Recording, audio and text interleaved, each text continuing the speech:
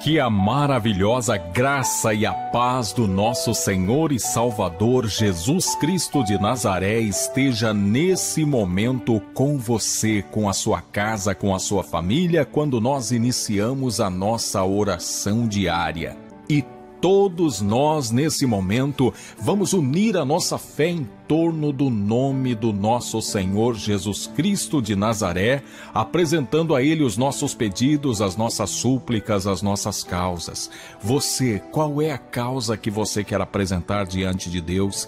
Aproveite esse momento para ter esse momento de comunhão com Deus, esse momento de renovo, de se achegar a Deus, de colocar as suas causas diante dele, porque Ele tudo pode para ele nada é impossível. E nós vamos orar a esse Deus unindo a nossa fé, formando uma gigantesca corrente de fé, de oração, de esperança, de união, porque o nosso Deus nos instruiu a buscá-lo. A palavra dele nos conduz à sua presença, convidando-nos a orar, a clamar, a nos colocar debaixo da dependência dele ele para que então ele, na sua soberania, ele que tem todo o poder e tudo pode fazer para que Ele possa olhar por nós, para que Ele possa nos responder, para que Ele possa vir de nós ao nosso encontro, para que Ele possa fazer um milagre na nossa vida.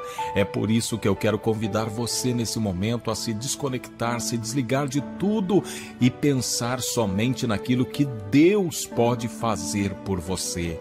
Livre-se dos pensamentos contrários, dos pensamentos negativos, das coisas que desanimam, das coisas que enfraquecem a fé. Livre-se disso e lembre-se do poder, da glória, da majestade do nosso Deus. Lembre-se dos milagres que Jesus operou. Lembre-se das maravilhas das quais a Bíblia fala.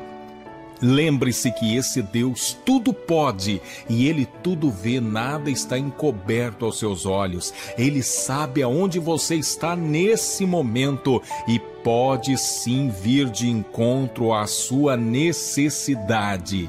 E eu quero aqui convidar você a, nesse momento, apresentar aqui nos comentários desse vídeo. Pode parar o vídeo agora, escrever o seu pedido de oração aqui nos comentários. E você que já tem recebido bênçãos de Deus, pode também deixar nos comentários os seus testemunhos para a honra e glória do nosso Senhor Jesus Cristo. E para a nossa oração de hoje, eu quero convidar você a ter a atenção, a refletir, a meditar nas palavras do Salmo 115, versículos de 1 a 3, que diz assim: Não a nós, Senhor, nenhuma glória para nós, mas sim ao teu nome, por teu amor e por tua fidelidade por que perguntam as nações onde está o Deus deles? O nosso Deus está nos céus e pode fazer tudo o que lhe agrada. Essa palavra é poderosa, essa palavra já é resposta de oração para você que tem sido afrontado, para você que tem sofrido humilhação para você que está cheia de dúvidas, para você que está sem saber o que dizer, o que pensar, o que fazer, para você que às vezes é insultada, insultado, para você que as pessoas chegam e diz: "Onde está o teu Deus? Por que é que você está nessa situação? Por que é que Deus não faz nada para te ajudar? Onde está o teu Deus? Será que Deus não está vendo?" A palavra é: Deus está vendo e Deus sabe a hora certa, o momento exato de entrar em ação. E quando ele fizer, não será por mim, mas será para a honra e glória dele, pela fidelidade dele, porque ele é bom e a sua misericórdia dura para sempre, e ele pode fazer tudo o que lhe agrada. E eu quero convidar você agora a se achegar diante de Deus com fé, com esperança, com a expectativa de que algo poderoso vai acontecer na sua vida e Deus vai sim operar milagres e transformar a sua história. Deus maravilhoso de infinita graça, bondade e misericórdia, eu apresento diante de ti agora todas as vidas das pessoas que me acompanham nesta oração. Pessoas de toda parte, pessoas que estão diante de ti agora, meu Pai, se aproximando diante do teu trono da graça para suplicar, para clamar, para interceder pelo teu favor pela tua intervenção divina em nossas vidas. Há muitas pessoas aqui que clamam, meu Deus, por libertação, pessoas que estão dominadas pelos vícios, Há outras que estão clamando por libertação aos seus entes queridos, a pessoas as quais elas amam e que estão aprisionadas a diversos tipos de vícios. Vícios que tiram a paz, tiram a alegria, vícios que tiram as pessoas das suas casas para se embebedar, se embriagar, se drogar pelas ruas e às vezes arriscar a própria vida em busca do produto do seu vício. Meu Deus, em nome nome de Jesus Cristo eu clamo para que o Senhor venha trazer libertação a todas essas pessoas que estão sendo dominadas pelos vícios, pessoas que não conseguem largar, pessoas que não conseguem abandonar esses vícios e só uma ação libertadora dos céus é que pode tirá-la dessa situação. Por isso eu clamo em favor dos meus irmãos e irmãs, meu Pai, e coloco todas essas pessoas diante do teu altar e peço: liberta essas pessoas de todos os tipos de vícios, inclusive aquelas que são viciadas em remédios que não conseguem descansar sem o uso dos medicamentos, e o Senhor é capaz de te dar tranquilidade, sono, descanso, para que você não mais precise depender desses remédios. Por isso eu peço, meu Deus, liberte essas pessoas desses medicamentos que causam tantas reações adversas às vezes e faz com que essa pessoa não tenha tranquilidade, não tenha paz. Ela mesma já disse que não quer mais saber desse medicamento, que quer se livrar dele, mas enquanto ela não é visitada por ti, meu Deus, ela não pode abandonar então, ó Pai, visita essa pessoa agora e liberta ela desse medicamento. Faça com que ela possa, Pai querido, ter a sua saúde restaurada e assim ela não precise mais viver às custas desse remédio. Meu Pai, eu quero apresentar também as pessoas que estão colocando aqui as causas por um emprego. Pessoas que estão desempregadas, angustiadas, sofrendo, sendo humilhadas, com uma sensação terrível de impotência, de incapacidade, de incerteza, precisando urgentemente de uma porta de emprego. Eu te peço, meu Deus, em nome de Jesus Cristo de Nazaré, Abre as portas de emprego para essas pessoas. Meu Pai, em nome de Jesus Cristo, eu clamo por ti agora para que o Senhor Envie oportunidade de emprego, ó Pai, que essa pessoa possa receber uma resposta positiva dos lugares onde ela deixou um currículo, onde ela passou, que ela possa ser chamada para trabalhar e ganhar o pão honestamente, ter restaurado a sua dignidade. Meu Deus, em nome de Jesus Cristo, abre oportunidades também para aqueles que têm os seus pequenos negócios, precisam de clientes, precisam de recursos, precisam de investimentos, pessoas que precisam pagar as suas dívidas, os seus funcionários e estão com crises financeiras atormentando a sua vida. Meu Pai, abra as janelas do céu e derrama bênçãos sobre essas pessoas, que elas possam ser visitadas pela tua bênção, pela tua bondade, pela tua graça e misericórdia, meu Pai. Eu peço também pelos relacionamentos conturbados, destruídos, afetados pela intriga, pela mentira, pela inveja, pelas discussões, palavras, ó Deus, que causam feridas, eu peço que o Senhor liberte essas pessoas de todo trauma, de toda amargura, de todo sentimento de ódio, de raiva e que essas pessoas possam ser visitadas pela tua paz, pela serenidade e buscar conserto, restauração e possam reedificar as suas casas, os seus lares. Assim eu te peço, ó Pai, para que tudo o que acontecer nessas vidas sirva para glorificar e exaltar o nome do nosso Senhor Jesus. Amém. E todos nós, nesse momento, vamos unir a nossa fé em torno do nome do nosso Senhor Jesus Cristo de Nazaré, apresentando a Ele os nossos pedidos, as nossas súplicas, as nossas causas. Você, qual é a causa que você quer apresentar diante de Deus? Aproveite esse momento para ter esse momento de comunhão com Deus, esse momento de renovo, de se achegar a Deus, de colocar as suas causas diante dele, porque Ele tudo pode para ele nada é impossível.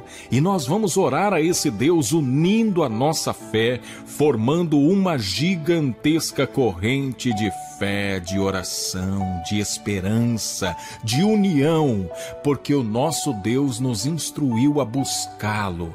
A palavra dele nos conduz à sua presença, convidando-nos a orar, a clamar, a nos colocar debaixo da dependência dele, para que então ele, na sua soberania, ele que tem todo o poder e tudo pode fazer para que Ele possa olhar por nós, para que Ele possa nos responder, para que Ele possa vir de nós ao nosso encontro, para que Ele possa fazer um milagre na nossa vida. É por isso que eu quero convidar você nesse momento a se desconectar, se desligar de tudo e pensar somente naquilo que Deus pode fazer por você. Livre-se dos pensamentos contrários, dos pensamentos negativos, das coisas que desanimam, das coisas que enfraquecem a fé. Livre-se disso e lembre-se do poder, da glória, da majestade do nosso Deus. Lembre-se dos milagres que Jesus operou. Lembre-se das maravilhas das quais a Bíblia fala. Lembre-se que esse Deus tudo pode e ele tudo vê, nada está encoberto aos seus olhos. Ele sabe aonde você está nesse momento e pode sim vir de encontro à sua necessidade. E eu quero aqui convidar você a, nesse momento, apresentar aqui nos comentários desse vídeo. Pode parar o vídeo agora e escrever o seu pedido de oração aqui nos comentários. E você que já tem recebido bênçãos de Deus, pode também deixar nos comentários os seus testemunhos para a honra e glória do nosso Senhor Jesus Cristo. E para a nossa oração de hoje, eu quero convidar você a ter a atenção, a refletir, a meditar nas palavras do Salmo 115, versículos de 1 a 3, que diz assim: Não a nós, Senhor, nenhuma glória para nós, mas sim ao teu nome, por teu amor e por tua fidelidade por que perguntam as nações onde está o Deus deles? O nosso Deus está nos céus e pode fazer tudo o que lhe agrada. Essa palavra é poderosa, essa palavra já é resposta de oração para você que tem sido afrontado, para você que tem sofrido humilhação, para você que está cheia de dúvidas, para você que está sem saber o que dizer, o que pensar, o que fazer, para você que às vezes é insultada, insultado, para você que as pessoas chegam e diz: "Onde está o teu Deus? Por que é que você está nessa situação? Por que é que Deus não faz nada para te ajudar? Onde está o teu Deus? Será que Deus não está vendo?" A palavra é: Deus está vendo e Deus sabe a hora certa, o momento exato de entrar em ação. E quando ele fizer, não será por mim, mas será para a honra e glória dele pela fidelidade dele, porque ele é bom e a sua misericórdia dura para sempre, e ele pode fazer tudo o que lhe agrada. E eu quero convidar você agora a se achegar diante de Deus com fé, com esperança, com a expectativa de que algo poderoso vai acontecer na sua vida e Deus vai sim operar milagres e transformar a sua história. Deus maravilhoso de infinita graça, bondade e misericórdia, eu apresento diante de ti agora todas as vidas das pessoas que me acompanham nesta oração. Pessoas de toda parte, pessoas que estão diante de ti agora, meu Pai, se aproximando diante do teu trono da graça para suplicar, para clamar, para interceder pelo teu favor pela tua intervenção divina em nossas vidas. Há muitas pessoas aqui que clamam, meu Deus, por libertação, pessoas que estão dominadas pelos vícios, Há outras que estão clamando por libertação aos seus entes queridos, a pessoas as quais elas amam e que estão aprisionadas a diversos tipos de vícios. Vícios que tiram a paz, tiram a alegria, vícios que tiram as pessoas das suas casas para se embebedar, se embriagar, se drogar pelas ruas e às vezes arriscar a própria vida em busca do produto do seu vício. Meu Deus, em nome nome de Jesus Cristo eu clamo para que o Senhor venha trazer libertação a todas essas pessoas que estão sendo dominadas pelos vícios, pessoas que não conseguem largar, pessoas que não conseguem abandonar esses vícios e só uma ação libertadora dos céus é que pode tirá-la dessa situação. Por isso eu clamo em favor dos meus irmãos e irmãs, meu Pai, e coloco todas essas pessoas diante do teu altar e peço: liberta essas pessoas de todos os tipos de vícios, inclusive aquelas que são viciadas em remédios que não conseguem descansar sem o uso dos medicamentos, e o Senhor é capaz de te dar tranquilidade, sono, descanso, para que você não mais precise depender desses remédios. Por isso eu peço, meu Deus, liberte essas pessoas desses medicamentos que causam tantas reações adversas às vezes e faz com que essa pessoa não tenha tranquilidade, não tenha paz. Ela mesma já disse que não quer mais saber desse medicamento, que quer se livrar dele, mas enquanto ela não é visitada por ti, meu Deus, ela não pode abandonar então, ó Pai, visita essa pessoa agora e liberta ela desse medicamento. Faça com que ela possa, Pai querido, ter a sua saúde restaurada e assim ela não precise mais viver às custas desse remédio. Meu Pai, eu quero apresentar também as pessoas que estão colocando aqui as causas por um emprego pessoas que estão desempregadas, angustiadas, sofrendo, sendo humilhadas, com uma sensação terrível de impotência, de incapacidade, de incerteza, precisando urgentemente de uma porta de emprego. Eu te peço, meu Deus, em nome de Jesus Cristo de Nazaré, Abre as portas de emprego para essas pessoas. Meu Pai, em nome de Jesus Cristo, eu clamo por ti agora para que o Senhor Envie oportunidade de emprego, ó Pai, que essa pessoa possa receber uma resposta positiva dos lugares onde ela deixou um currículo, onde ela passou, que ela possa ser chamada para trabalhar e ganhar o pão honestamente, ter restaurado a sua dignidade. Meu Deus, em nome de Jesus Cristo, abre oportunidades também para aqueles que têm os seus pequenos negócios, precisam de clientes, precisam de recursos, precisam de investimentos, pessoas que precisam pagar as suas dívidas, os seus funcionários e estão com crises financeiras atormentando a sua vida. Meu Pai, abra as janelas do céu e derrama bênçãos sobre essas pessoas pessoas, que elas possam ser visitadas pela tua bênção, pela tua bondade, pela tua graça e misericórdia, meu Pai.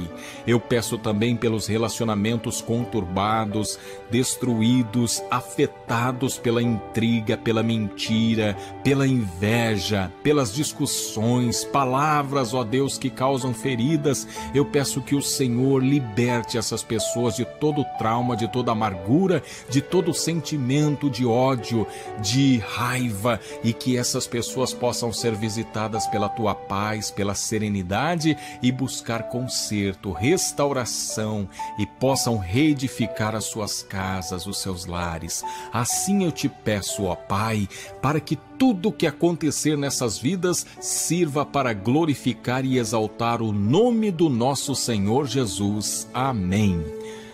Que Deus te abençoe, que Deus te guarde, que Deus incentive você a continuar tendo fé, porque Ele fará milagres na tua vida. E agora me ajude a espalhar esta oração, compartilhe aí com mais pessoas. Faça isso, não vai te custar muito, basta mandar para os seus contatos, envie esta oração para mais pessoas, aperta no gostei, inscreva-se no nosso canal e se você tiver tempo para ver mais um vídeo, Acompanhe esse vídeo que está aparecendo aqui, porque ele também pode edificar a sua fé, abençoar a sua vida e que você realmente experimente do milagre de Deus em sua vida. Amém.